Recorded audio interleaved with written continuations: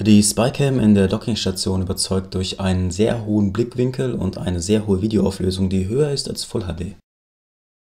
Sie sehen jetzt das Beispielbild. Beachten Sie, dass die Videoauflösung in echt natürlich noch höher ist als hier auf YouTube dargestellt.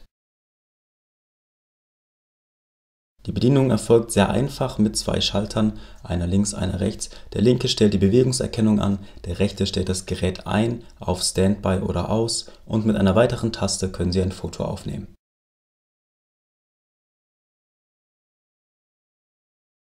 Erwerben Sie das Produkt auf www.alarm.de